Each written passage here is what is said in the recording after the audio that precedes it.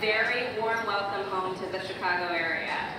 Thank you. It's wonderful to be here, both for uh, this uh, occasion, but to be back in Chicago on a beautiful May afternoon. So obviously, being here tonight has made me think a lot about my grandmother, we just spoke about, and also about my mother, who spent the time that I was preparing for this interview watching my daughter. Um, so I wanted to start off by asking you about being a grandmother, which I know is so important to you. How is it different than being a mother? And is it better or worse? Well, this is a question that um, no matter how you answer it,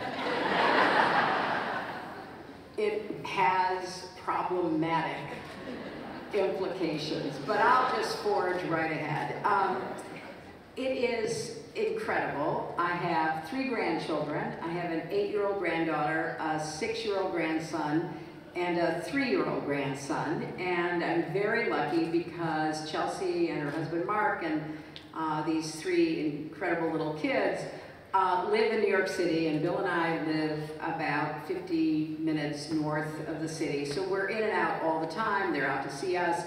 The only good thing about COVID is that they came and lived with us for uh, 18 months, which was just the greatest gift.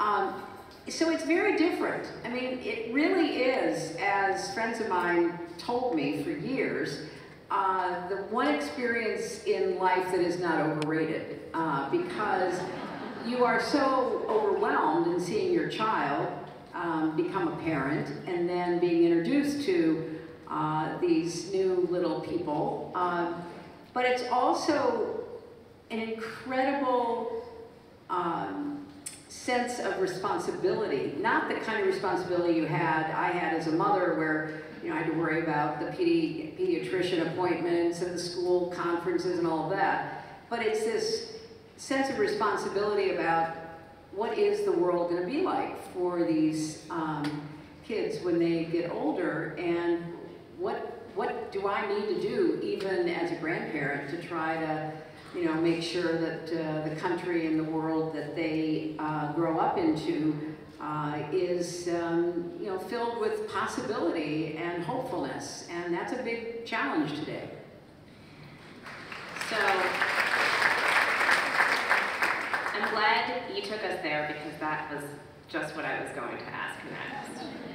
Um, how are you feeling about this world for your grandchildren? I mean, there's a lot of scary stuff happening in the world right now, and it's very hard for a lot of people to remain optimistic. So I'm curious for how you, for your balance on that. How do you maintain optimism when there's so much at stake? Well, I'll start with a story, Charlotte, because it really is something I think about a lot. Um, my wonderful late friend and uh, predecessor as Secretary of State, Madeleine Albright, who was just an extraordinary person. Uh, you know, first her family had to escape from the Nazis, and then they go back to what was then Czechoslovakia, and they have to escape from, you know, the Soviet Union uh, communists. And I mean, she just led a very impactful, meaningful life, and then uh, became uh, our first woman Secretary of State, and was just an extraordinary uh, representative of our uh, country. And she wrote some very powerful books, um, including a book about fascism shortly before she died. And when she would go on her book tour, events like this, talking, and people like you would be asking her questions, and she would talk about the serious challenges that we know we face in the world, uh, some of which we can barely understand, like the impact of artificial intelligence or what you know, rapid changes in climate will actually do uh, to all of uh, us in the future. So at the end, oftentimes the interviewer, maybe uh, an audience member, would say, well, you know, we've talked about all these serious issues, and I have to ask you, are you an optimist or a pessimist about the future? And I love, love, love her answer, because here's what she said. She said, well, you know, I remain an optimist but an optimist who worries a lot. and that's exactly how I feel uh, these days. I mean, I feel, you know, optimistic. You can't help but feel positive about so many good things that are happening. And, and as we said earlier, as a grandparent watching these, you know, grandchildren discover the world. But yeah, I do worry a lot. So when people say to me, how are you? I say, personally, I'm fine, but, you know, I worry a lot about our country and the world. Yeah, so on that note, Trump's back.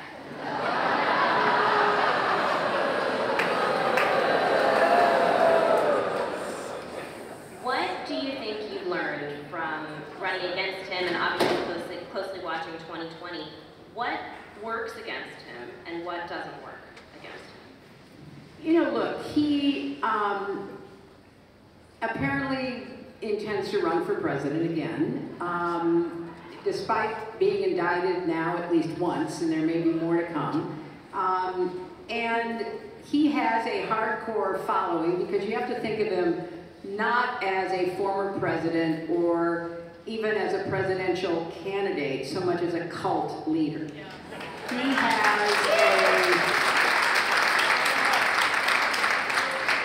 he has a hold on a you know significant percentage of the Republican Party um, who view him with all of his demagoguery and his authoritarian tendencies as a kind of strong man, which they sadly are attracted to.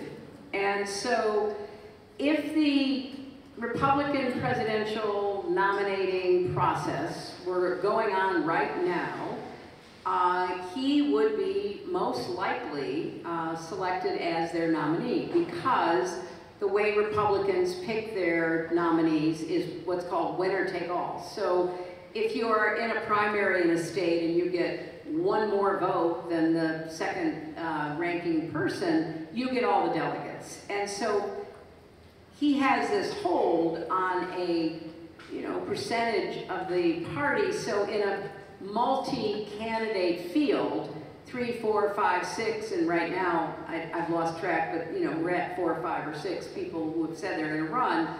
Um, all he needs is one more vote to get the delegates, and that seems at this point likely that he will. Who knows, you know, what will happen in three or six months. So he will most likely uh, become the Republican nominee again, and he will be defeated by Joe Biden and Kamala Harris.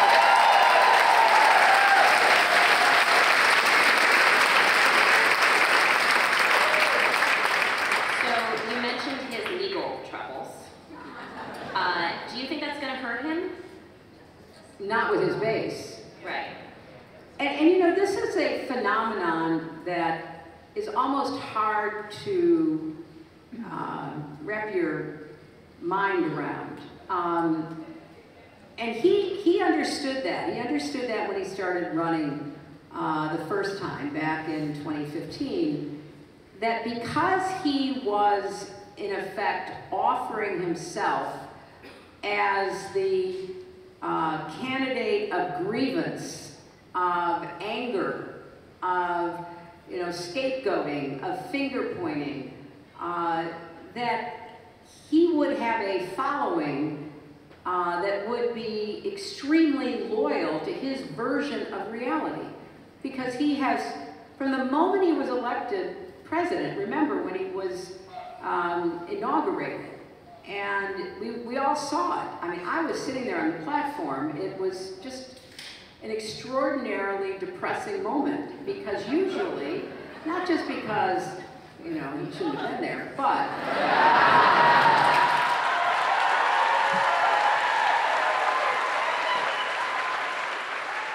but because he made absolutely no effort to unite the country after a very tough election. And it's not just, you know, a nice thing to do. It's, it's, it's pretty critically important that when a new president is sworn in, he makes some gesture to people who didn't vote for him. You know, I'm going to be the president of everybody. None of that happened. But what was even more disturbing was the content of his speech carnage in the street, painting this dark, dystopian view of our country, which was unrecognizable to those of us who actually live in the reality based world and had seen, you know, the progress that we'd made. Um, and then, of course, once the official pictures were posted, right? I mean, he went ballistic because it wasn't a very big crowd. And I've been to a couple of inaugurations which had big crowds. And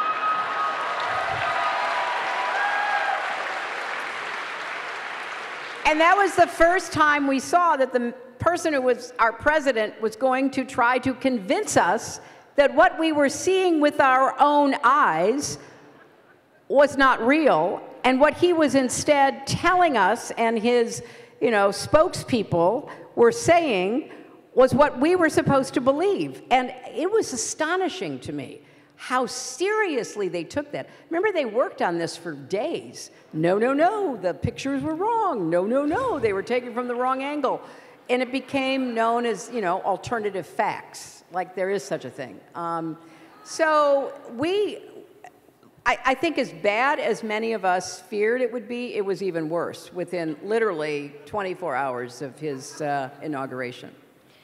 So I feel like 2016 was this weird. Uh, you think so? Yeah. I was gonna say it was like a weird Twilight Zone kind of moment, which I'm sure you uh, experienced more intensely than any of us did. Um, but I think since then there's been this debate about whether the rules still apply. Because it felt in 2016 as if a lot of the conventional rules of politics didn't apply. And then in 2018 and 2020 and 2022, some of them seemed to apply, some of them seemed to work again, but it wasn't clear which ones would work in which cases. What do you think about that? Is the entire, is all political convention broken since 2016, or do some of the rules still apply? Well, I think we're still trying to figure that out. Um, because it, you're, you're right that uh, his campaign did defy what was expected from uh, a presidential campaign and candidate. There's no doubt about that. And you know, people couldn't turn away. It was like watching, you know, the train wreck. I mean, you just, you, you didn't want to watch, but you couldn't help it. And we now, of course, know that the media was just totally uh, dumbfounded in one respect because there was no fact checking him, there was no uh, ability uh, to in any way hold him accountable because he didn't regard the facts or evidence as important. And, you know, as I say, I've been fortunate enough to be in and around uh, a number of presidential campaigns. And usually at a campaign, if your candidate says something flat out wrong, you try to figure out a way to kind of fix it.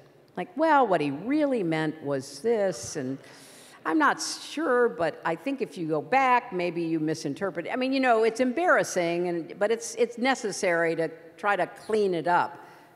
Not with him. And, and so I think that the way he was covered was the most um, incredibly unaccountable way that I've ever seen a, a modern presidential candidate covered because usually there are moments of reckoning. Somebody says something on a debate stage, somebody says something uh, in a uh, speech or an exchange with the press, and they're held accountable because what they said was wrong, not him. And so it was a, not just a difference uh, in, you know, a few degrees, but a significant change in what a candidate got away with and how he was treated. And the press, you know, to some extent, particularly broadcast media, uh, found that he was great TV because he was more of a performer. Uh, and he was doing a performance. And remember, people had seen him on TV playing a successful businessman, which, you know, he really wasn't, but that's how he was portrayed. So now he would, they see him on TV playing a potential president. And so, hey, you know, he's being held to no standard, but he's entertaining. And we're going to watch because we don't know who he's going to insult and who his target's going to be. And it's entertaining. So I, I think that it was a very uh, difficult uh, environment for, you know, certainly my campaign, for the press, for people to kind of come to grips with. So, how do you feel? I mean, I think you're totally right about people living in different realities, and it's something that I think a lot of people in the press are grappling with how to handle. What, how, can we, how can we live in a democracy if we are not living in a shared reality? How, how can we get past those two fundamental senses of what is real and what is fake? Well, first you have to start with the premise that half the country doesn't want to get past it. That you have a political party that is counting on driving a distorted reality that advantages their agenda. So when they say things that are patently untrue, they know it, but it's in furtherance of a set of goals that they are pursuing. So you're right that it does great harm to our democracy. I mean, you, you have no shared reality. You're in what's often called a post truth era, where truth, facts, expertise, none of it matters. What matters is a message that resonates with enough people and certain press outlets that are also in service of that agenda that you try to change the narrative that people accept as being real versus what is actually happening. And look, there's no better example than what happened in the 2020 election and then on January 6th. I mean, think about how repetitive the message has been from Trump and his enablers that he either won the election or he had reason to believe that it wasn't fair, it was, quote, rigged. And despite losing something like 66 court cases where you still have to present evidence, uh, except in the Supreme Court, that's a different story. Um, you know, so, so he loses those cases. There is no evidence. He even gets, thankfully, blocked by Republican secretaries of state and other election officials in states like, you know, Georgia and Arizona who are appalled at what they're being asked to do. And that was very, you know, very reassuring. So now, of course, those states are changing the rules so that, uh, you know, the hardcore cult members get to make the decisions. Um, but think about it. So for months, we had a constant stream of untruthful propaganda that the guy who lost hadn't lost. And then we had an attack on our Capitol. And I mean, still, I find it just extraordinary that people I served with in the Senate for eight years, whom I know, who I believe know better than what I'm hearing them say, are either silent or complicit in the continuation of these lies that Trump is putting out there for his own personal benefit to the detriment of our democracy and the future of our country. So, this is what we're up against. So, you got a lot of flack back then for calling some Republicans deplorables. How do you think that comment has aged in retrospect? This is like the grandparent question. Um, it's my specialty. Sorry. Look, I, it, yeah, I will. Yeah, there, there is that argument. I was being too kind. Um, it, you know, if you actually go back and looked at what I said, I, you know, it was more in sort of sorrow than attack or anger. Because even then, during the campaign, although I had a hard time convincing people of this, I could see the growing grip of this unreality um, on voters. You know, you could see their, you could see their uh, rallies where Trump would say these outrageous things and people would cheer him and, you know, racist, misogynistic, you know, attacking the reporter with disabilities. I mean, things that just made me cringe. And you would see the crowds, you know, lapping it up. And I thought, wow, that. So, so there has. I was trying to figure out a way to sort of separate the people who'd gone, you know, full cult member. Um, from people who thought, well, you know, look, he was a successful businessman. I saw that on TV you know, we need a businessman. We, you know, we could use a businessman. Uh, I always like a change after a two-term president. So let's, you know, let's see what this will bring. I mean, I, I understood the kind of quasi rationalizations that people were um, buying into about why they might support him, as opposed to those people who were, you know, really attracted by the cruelty and the insulting and the you know, very hateful language that he was using. So I was trying to kind of create some space between what I saw as those two groups and basically said, you know, half of his supporters certainly don't believe that, but, you know, unfortunately there are those who do. Well, you know, now it's like full-fledged uh, open season on truth and decency and civility and, you know, what makes you know, human activities possible in a big, diverse, pluralistic uh, society like ours, and certainly what makes, uh, you know, democratic uh, governance possible. So, you know, look, it might not have been the most politic thing, although, frankly, he said so many more things that were worse. Um, and I felt like, oh, okay, hang me out to dry for saying that about, you know, some of his supporters. In the meantime, holy moly, they want to send me to jail. Um, the whole thing was bizarre from, you know, so many different perspectives.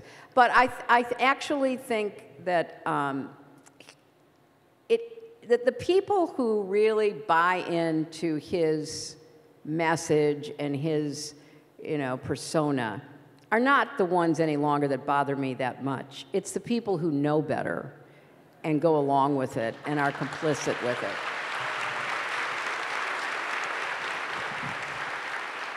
So, on that note, do you still believe in bipartisanship?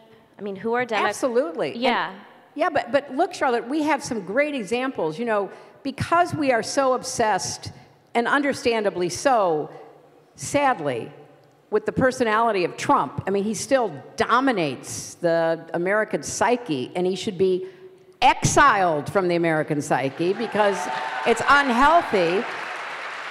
People either don't know because it never breaks through to them, or they discount the extraordinary legislation that Joe Biden got passed during his first two years as president. So, and you know, it wasn't just the American Rescue Plan coming out of COVID and trying to get us to uh, the end, you know, the ending of, of that pandemic. Um, it was also, you know, the infrastructure bill. I mean, Donald Trump must have said infrastructure a thousand times and never presented a bill. Joe Biden said it maybe 10 times and presented a bill and got it passed. And we are now engaged in a very important rebuilding process in our country and putting, you know, hundreds of thousands of, of people to work. And then along comes the CHIPS bill to try to reinstate advanced manufacturing in America in competition with China, particularly. Again, bipartisan. And announcements are being made of, you know, $100 million plants north of Syracuse, New York, plants in Arizona, different places around the country that are going to be competitive. Um, and, you know, the Inflation Reduction Act wasn't as bipartisan, but it's fascinating when projects are being announced, Republicans who didn't vote for it show up and take credit. So that's kind of a form of bipartisanship. So, um, yeah, I, I, still, I still believe in a place called bipartisanship. And I think it is a, you know, it is an important, um, an important goal, but it can't be a goal that hurts America. Like right now, you're seeing this very dangerous debt limit negotiation where, you know, Speaker Kevin McCarthy is holding our country hostage to try to literally change the budget after it's already been uh, written. And Biden is saying, no, I'm not going to agree with that. Let's see if we can come up with something that's more, uh, you know, reasonable. So he's, Biden is willing to invest in it, but not to the point, I believe, from what I'm hearing, uh, that would hurt us, uh, which is important. So it's, it's a goal. It, it can't be at the cost of important principles and values, um, but it is something that you know, responsible leaders in a democracy do try to continue to pursue because you want to have some common ground with people. Now, it's easier when you've got people who also want to meet you part way, and uh, we'll see what happens on this debt limit, whether that's you know even possible. So I'm going to bring in an audience question from Brianna, who says this. Like you, I was raised in a Republican household. How did you pave your own political identity apart from your family's? And how did or do you navigate difficult conversations where you might not see eye to eye? Well, I, I did, well, first let me say that my father's Republican Party has nothing to do with what we're seeing today. Um, and so, yes, it, you know, I grew up in Park Ridge, and we used to say that, uh, you know, in 1964, 80% of the people in Park Ridge voted for Barry Goldwater, and the other 20% thought he was too liberal. Um, so that's just a, you know, kind of uh, commentary. Um, but so, yes, my father was a small businessman. He was a traditional Republican, but he also believed in funding schools and parks and the, you know, national defense because he'd been in the Navy. He, he actually thought that you know Medicare and, and Medicaid were good ideas to go along with Social Security. He was always worried about how much money would be spent, but he wasn't against the principles of you know trying to find ways to help lift people up and give them um, more of an opportunity. My mother was always canceling his vote anyway. Um, so you know, I don't think my father ever voted for a Democrat until he voted for my husband. Um, and I know for a fact my mother did. So I, I grew up, you know, in a house that was an early precursor of the gender gap in politics. Um, and, and so it, it, we, we would have very, uh, you know, spirited debates at the dinner table, which I thought were great because I would argue with my father about politics, and my mother would, you know, chime in, often disagreeing with my father, and then we'd, you know, go at it some more. So I, I grew up believing that it was important to be informed, to know what was happening in the world, and to, you know, really develop your own opinions. And that's what eventually, you know, I was able to do uh, as I got to college. So uh, it, it was a process like so many people go through, and uh, I always appreciated the importance that my father, you know, put on being uh, a well-informed citizen and in voting in every election. He never missed a vote in an election. So, you know, those were important messages that I picked up on. So, enough about the Republicans. Let's talk about the Democrats. Um, I covered the surge of of political engagement following 2016, where hundreds, even thousands of women, first timers who had never been involved in politics before, stepped up and ran for office, sometimes uh, offices as big as the House of Representatives, other times offices more similar to what Joanne ran for. Um, what did you make of that? And what advice would you give to those women? Well, I was thrilled. You know, I was thrilled by uh, the Women's March the day after the inauguration. Um, and, you know, a lot of it was motivated in kind of a, a, a reaction against what had happened in the election and a, and a disbelief at the outcome. Uh, and a feeling that you know we all needed to have done more to prevent uh, you know the uh, victory uh, in the electoral college of uh, Donald Trump. So I felt very connected to and part of the um, uh, extraordinary outpouring of, of feeling and commitment.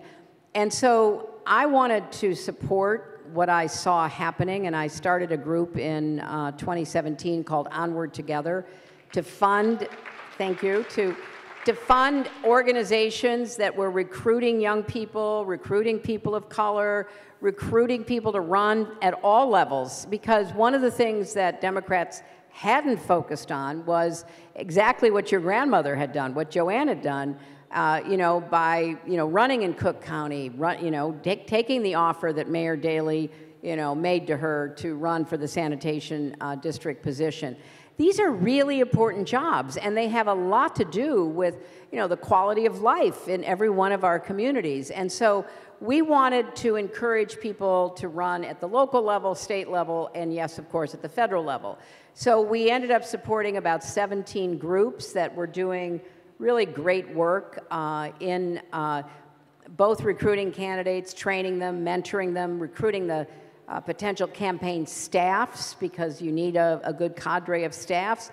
Also working on issue uh, uh, matters that uh, were important to us, and we started a PAC to um, fund a lot of these candidates. And you know, we, I felt very strongly that we had to compete more at every level of politics. I mean, there were too many offices uh, in too many parts of our country where no Democrat ever ran because nobody got out there and did the work. And sometimes, you know, you have to run once or twice, or you have to lay the groundwork for somebody else to come and run uh, before you can uh, be elected. So, you know, since uh, 2017, we've, you know, raised about $63 million for organizations and candidates. And I feel and, and we have a really high win rate. We have, for the people we gave uh, direct contributions to, we have about a two thirds you know, win rate because we try to identify people and not, not always the obvious people, but people who, you know, really look like they have something to say, like Lauren Underwood here in Illinois, right? I mean, truly one of the most effective um, members of Congress, and she's only been there, what, two terms? I mean, it's quite remarkable. Uh, so we, we want to really zero in on people who are going to do the work and, and, and really produce results that can then get them reelected and they can move up the ranks uh, within uh, the House or whatever other uh, position they're in. But it's also, I think, critically important to say that you know, the energy that I saw from particularly women and uh, young people um, has not abated. You know, I, I was doing an interview, um, I think, uh, with the Financial Times over the weekend at an event they were hosting, and you know, the interviewer was saying, well, you know, young people are not involved in politics. I said, wait a minute, I don't agree with the premise of your question anymore. Yeah, not true. Because it's not true anymore. I mean, starting in 2018 and then in 2020, the percentage of young people not just running for office, but actually turning out and voting uh, has been uh, really significant. So I think if we can keep this energy going, um, we, we have a, a very good prospect for 2024.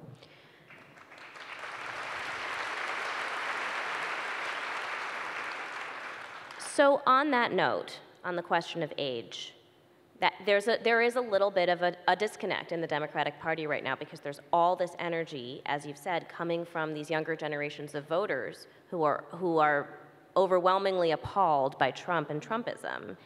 And also, we have a Democratic Party that is very, very old. Um, why, can we just have a little bit of a candid conversation about age? Why do smart people often make sort of foolish retirement choices?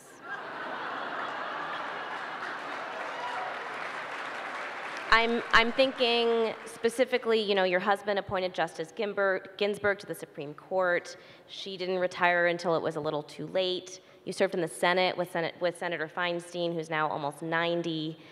Why are so many Democrats staying in office for this long? You know, I have a very negative response to that question because Sorry. and and it and in part it's because if you look at um, Justice Ginsburg, whom I got to know well, um, she was a survivor. She was as energetic um, as and as she'd ever been.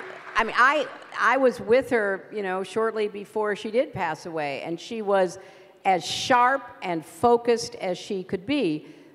And I think she made a judgment that a lot of men and other situations have made that she still could do the job. She was up to the job, and she had said she was going to uh, retire if I'd been elected because she wanted me to choose her successor.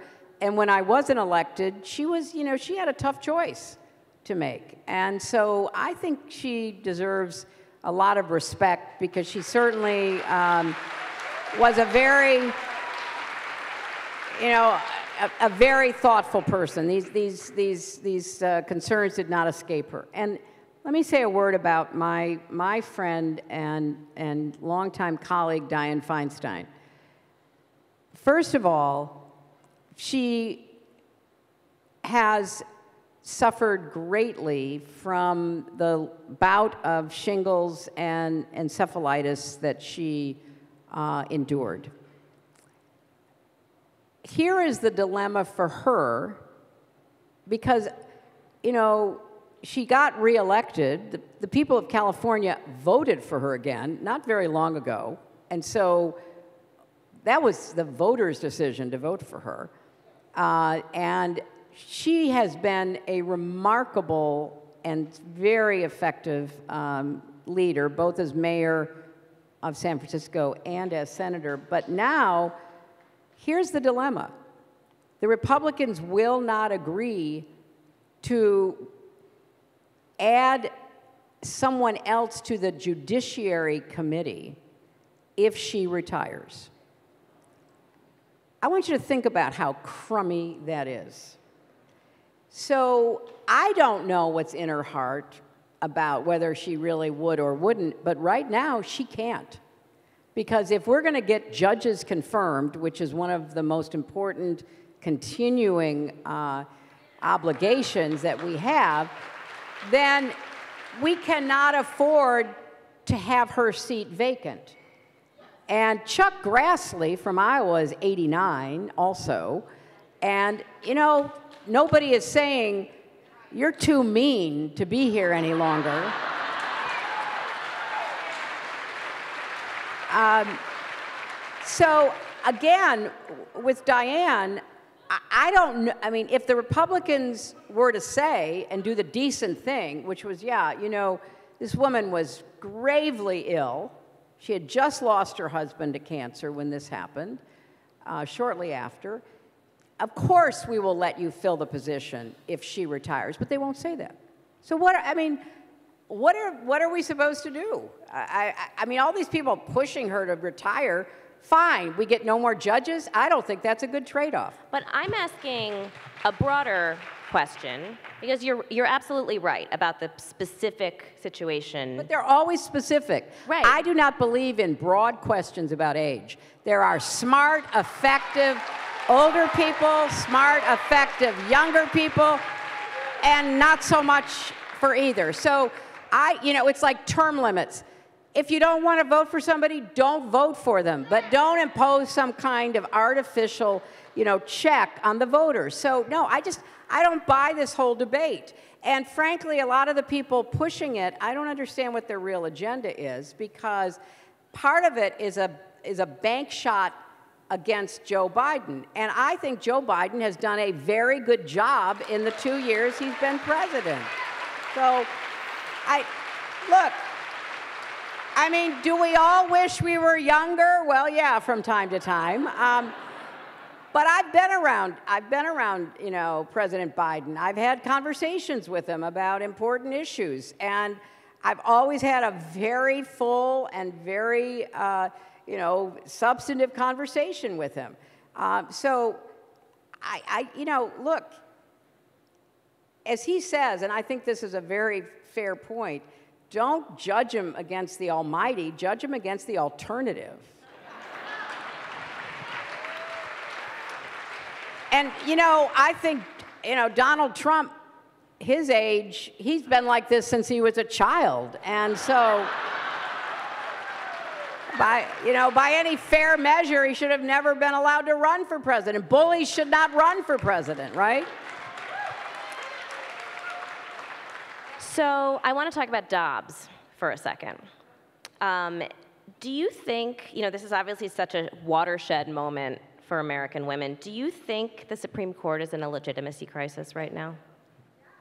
Well, look, I, I think I think the Supreme Court is doing exactly what the people who chose them to be on the court want them to do. And this has been a long term project uh, run through something called the Federalist Society, where young lawyers and uh, young judges have been identified as being uh, in line with the ideological partisan viewpoints that those picking them are pursuing. And so I think that the um, court, very sadly, reflects uh, a concerted effort that was not only aimed at creating the court we have, but remember, stopped Barack Obama from getting even a vote in committee after Scalia dropped dead in the summer before an election. And they all claimed, oh no, it's too close to an election. What baloney was that? And they would not give the President of the United States the right, as he has under the Constitution, to fill that vacancy. But then, shortly before the 2020 election, they installed a Supreme Court justice of their choice. So the process has been, you know, moving toward questionable legitimacy for some time. The decisions that are being made are results oriented in line with what these justices are expected to deliver. And the Dobbs decision itself is a poorly written, poorly reasoned, anti historical, um, you know, opinion that it, it, it is not connected to precedent. It is absolutely in defiance of how all those justices testified when they were up for confirmation. Oh, Roe v. Wade is settled law. Yes, well, yes, it is. I mean, this has been a game from the beginning. This, eh, this is what they have been aiming to do. So is it just now illegitimate? The whole process has been illegitimate, the way that they have pursued it and achieved their goals. And now they are rendering you know, decisions to turn the clock back on everything from voting rights to the interpretation of the Second Amendment uh, to uh, the Dobbs decision. And sadly, I think there's, you know, more uh, partisan, ideological, uh, driven decisions to come. So, what do you think is going to be the long term impact of this, of the Dobbs decision? Well, I think the long term impact is, is uh, several, uh, several things. And I, I really, you know, wish I didn't have to say this, but women will die because of this decision. They will be denied health care. I mean, the stories we're hearing now where women are being turned away who are miscarrying or whose, uh, you know, pregnancy is terribly at risk, but there is still a heartbeat, even though there is not a brain wave, or even though the prediction is that a baby would die shortly after delivery, women are being told to go wait in their cars in the parking lot until they're really sick before they're taken care of. Or they're being told that, yes, you know, you're going to have to carry uh, the baby to term even though it's already, uh, you know, dead. I mean, things that are just so horrible and that nobody should be subjected to by the decisions of you know, legislators in states and governors in states. And it's also, I think, reminiscent of what happened in Ireland. Ireland had the most restrictive abortion laws in uh, Europe, and a, a woman, a doctor, um, who was suffering a, a miscarriage and severe distress, went into a hospital and needed uh, a, an a operation uh, that she, it was a wanted baby. Obviously, it was a tragic situation. She needed medical intervention. But the heartbeat was still beating. And she was told that uh, she wasn't eligible yet, and she got sepsis and she died. And that led to the most extraordinary outpouring by the Irish people against an abortion law that led to the deaths of women, that they overturned the whole law in a referendum. And what we're seeing in the United States right now is when voters, not legislators, you know, not justices, but voters get to exercise their common sense, they look for what is reasonable and they vote against people who want to restrict abortion, no exceptions, you know, no opportunity for the kind of medical care that you might need because doctors are too afraid of going to jail. And so, honestly, I think it will continue to be a voting issue, and I certainly hope it is a voting issue because the only way we're going to reverse any of this is by voting out the people who want to restrict our rights and turn back the clock.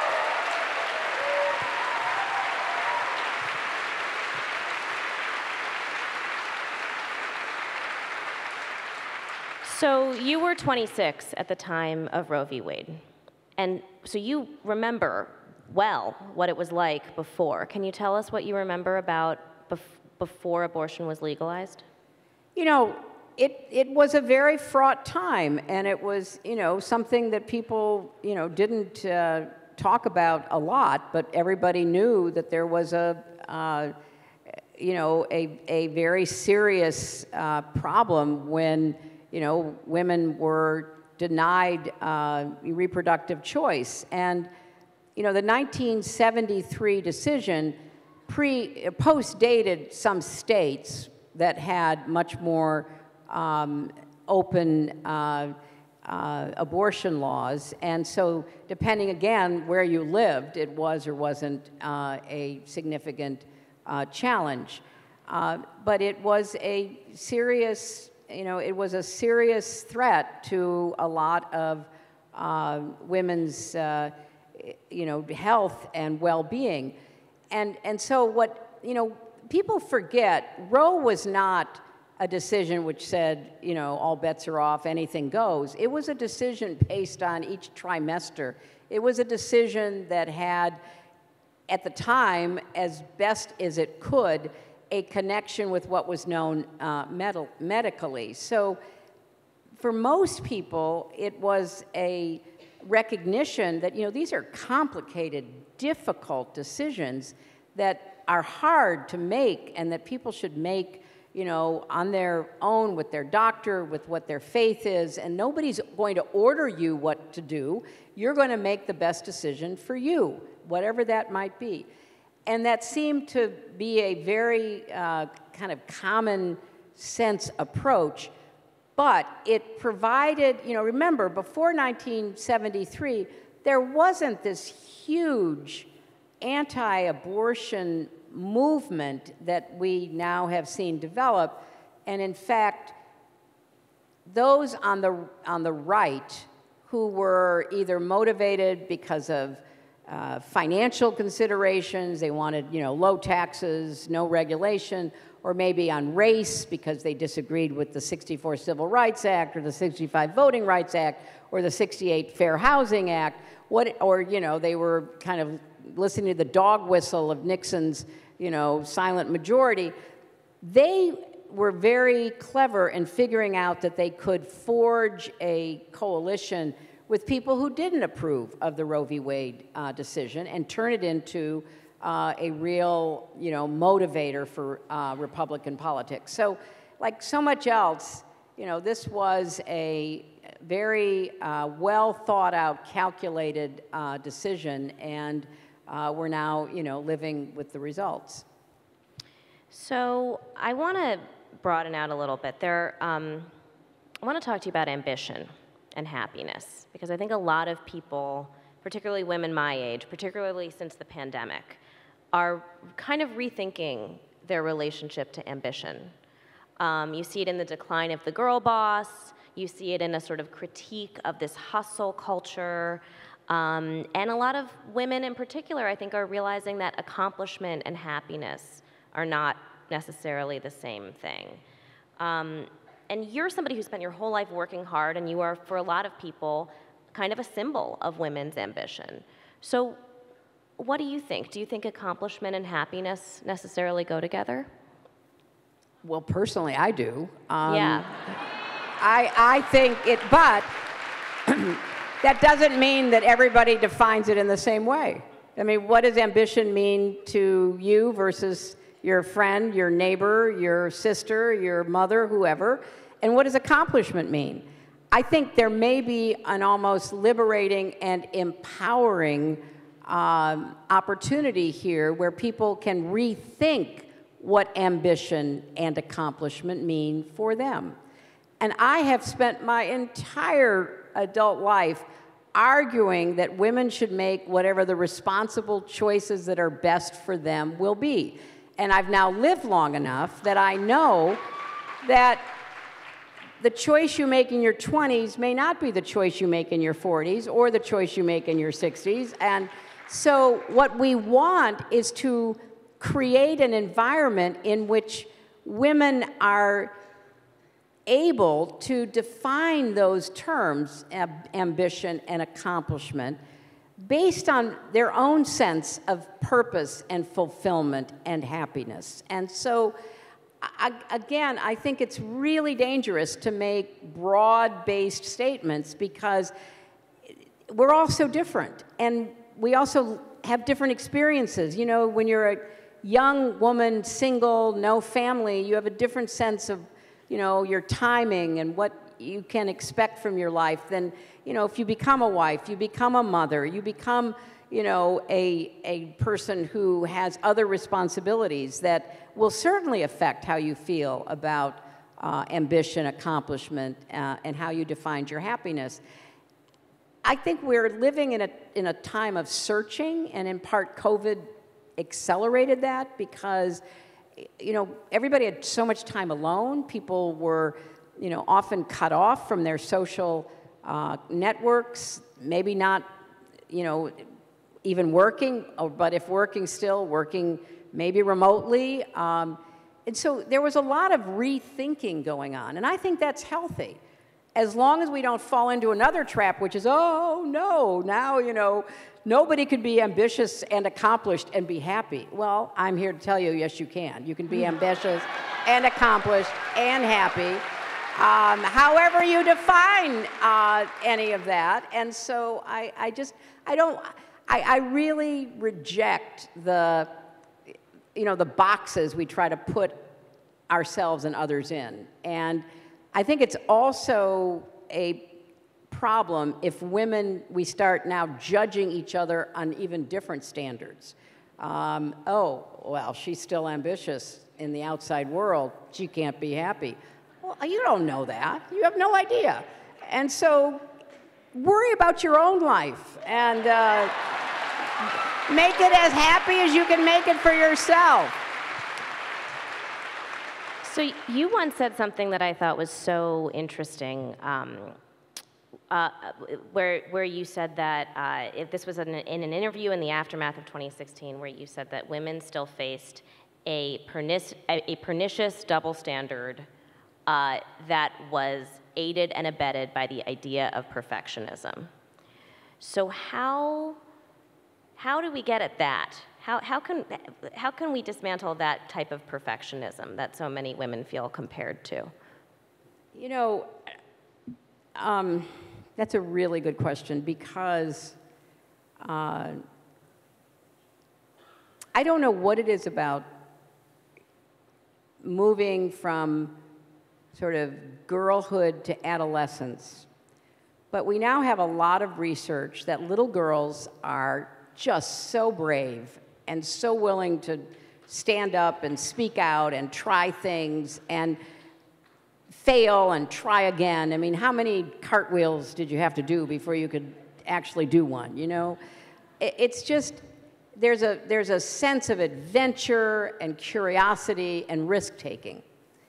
And then puberty hits, and girls become more self conscious and more, um, you know, worried about how they're being perceived and whether they're being, you know, liked. And that's been true for the, you know, all of history, I think. But now we throw in the added element of social media. And the addiction to social media and the false lives that social media presents have been particularly damaging to girls. You know, the increase in anxiety and depression and eating disorders because we were talking earlier about, you know, a, a political false reality.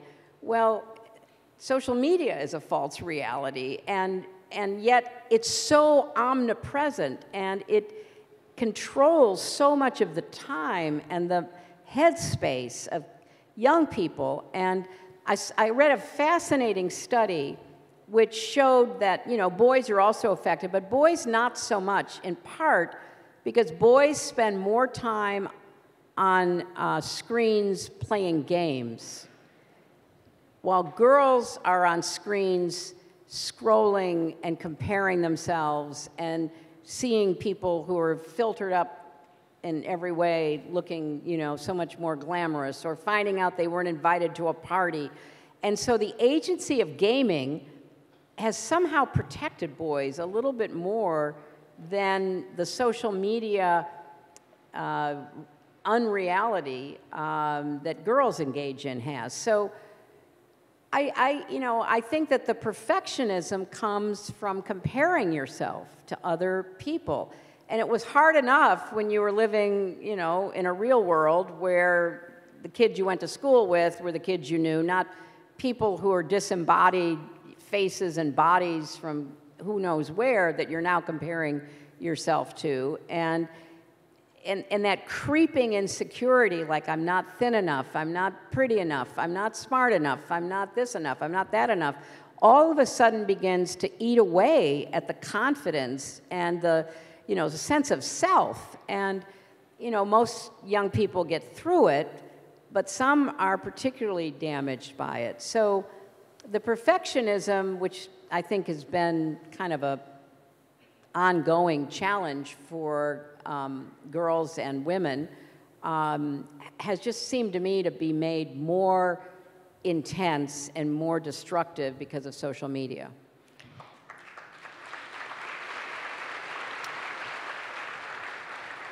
So, one of the things that has continued to be, that has always really been true about some of the, the coverage of you throughout your political career, which has sometimes been very unfair, um, is that uh, oftentimes people feel as if they are not getting to know the real you. And it's always reminded me of this John Updike quote where he says, Celebrity is the mask that eats the face. And so I'm wondering how, how are you thinking about that these days? Are you, are you feeling like you're able to be more yourself now? Do you feel like you've been yourself the whole time and people have been unwilling to see it? You know, what, where are, what are you thinking about that now? I, I think I've been the same person my entire life. And I think I've been pretty, you know, I think I've been pretty consistent. But I think that, I think several things. One, uh, we alluded earlier to the question of the double standard. I mean, when you are at a very high level of visibility, I often say you're like a Rorschach test.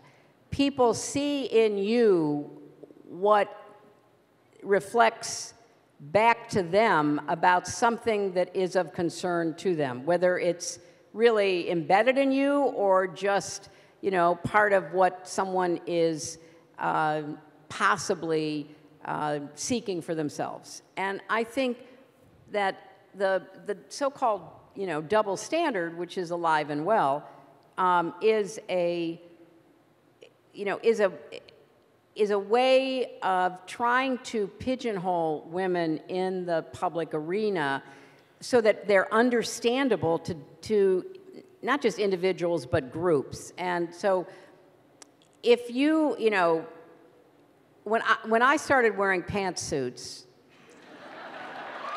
you know, it was for a it, it was for a very practical reason. It was because as first lady, when I used to wear a lot more skirts in those days, um, I had these bizarre experiences. Like I was in Brazil as first lady.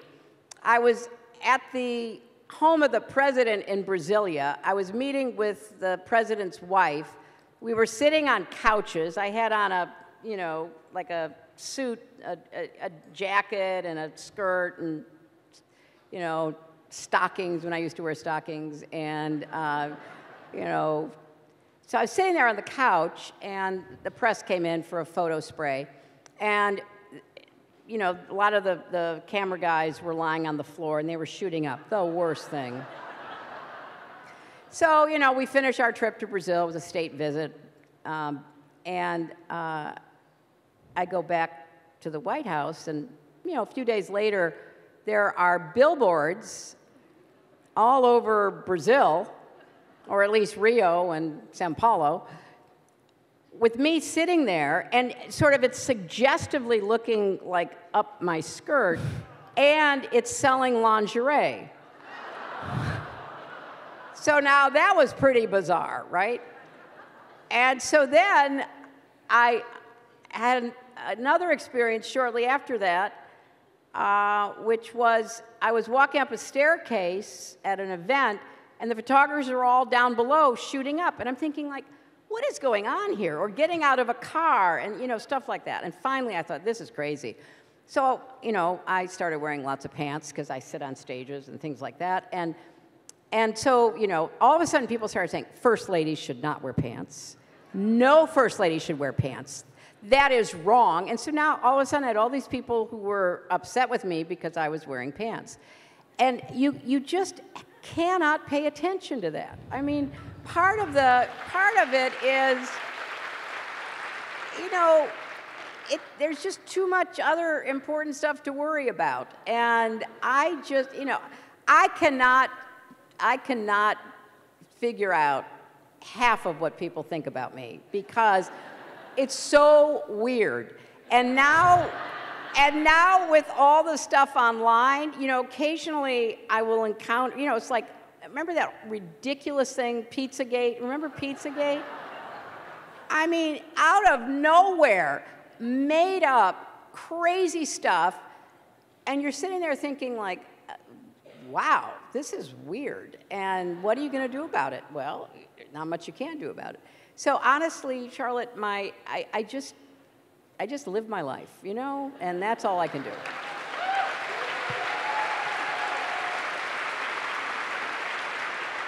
So I want to end on uh, going back to something you said just a couple minutes ago about we were talking about rethinking during the pandemic. I want to know about your own personal rethinking. Was there anything you rethought about your life? Was there anything, you know, and and um, you know, my final question, which is what I'm, I think a lot of people are curious about, is um, you've said that since the since the 2016 election, people come up to you and say, you know, are you okay? Um, and it seems like you're totally okay. um, but I, but it, but I'm, I'm curious if you have a sense of the ingredients for happiness for you. What are the ingredients for happiness for you?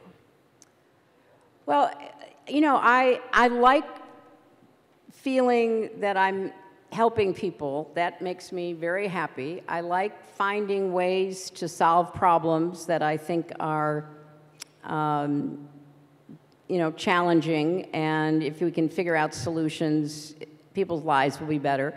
I have a, you know, I have a very simple calculation. Is something that I'm trying to do going to help people or not? Is it going to make people better off when I finish than when I started?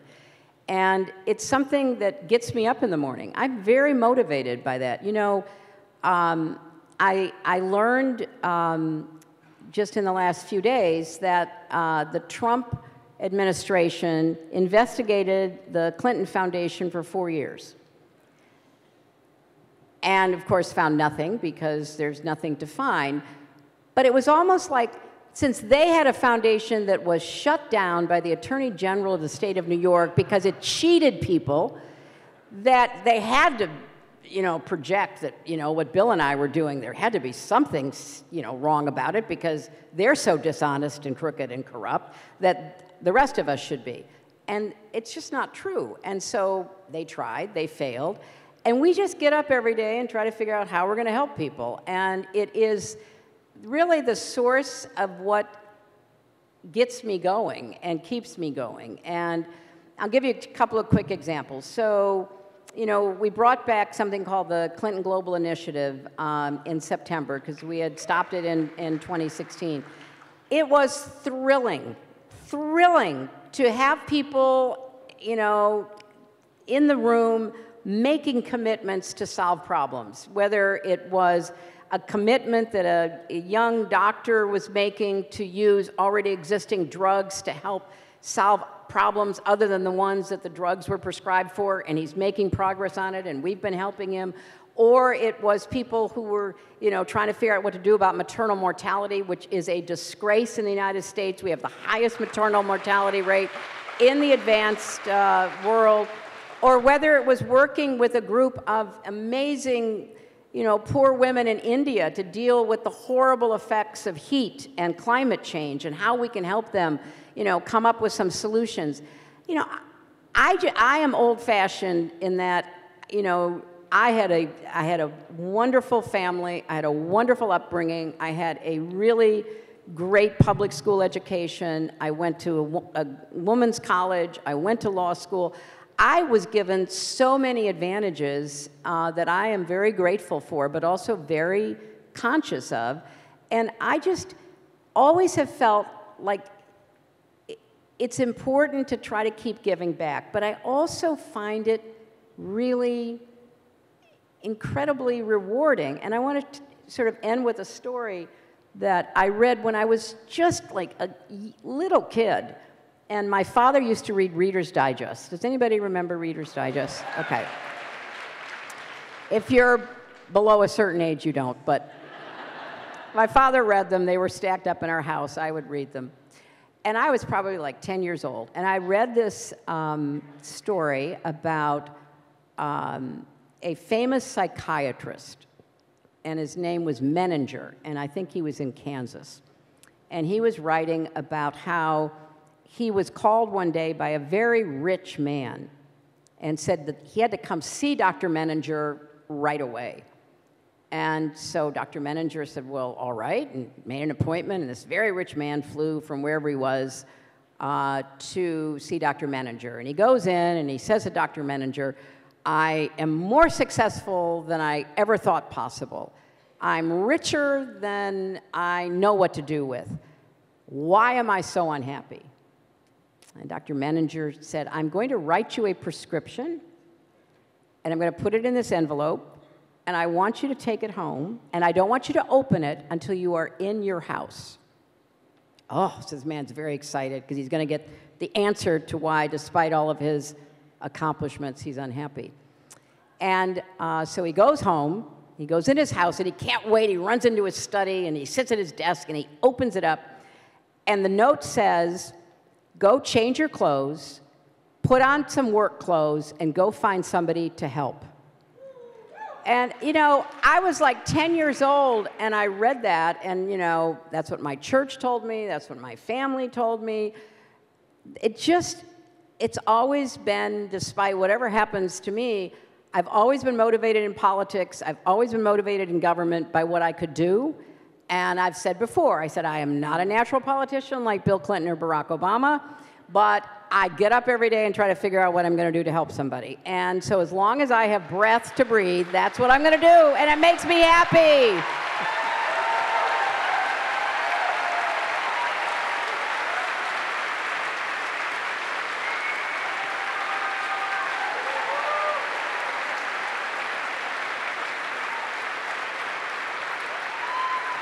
Secretary Clinton, thank you so much for being here today with us.